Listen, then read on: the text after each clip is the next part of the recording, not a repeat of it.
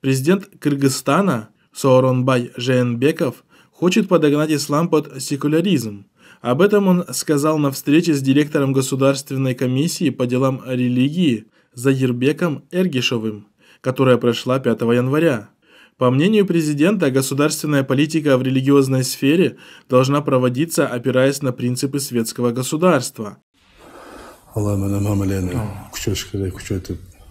Также он отметил о необходимости распространения среди населения именно так называемого традиционного ислама.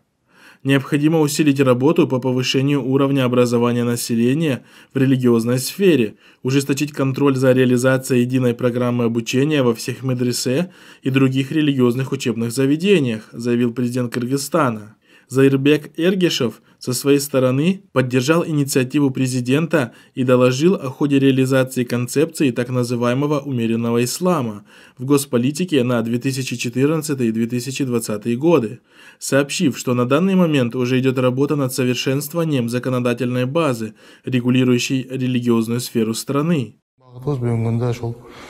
радикализм және экстремизм менен күрөшүү эксперты отмечают что навязываемый со стороны секуляристских режимов центральной азии так называемый традиционный ислам это не более чем фальшивая религия искаженная в угоду политической конъюнктуре и интересам того или иного диктатора и очень далекая от того понимания ислама которым обладали народы региона в течение более чем тысячи лет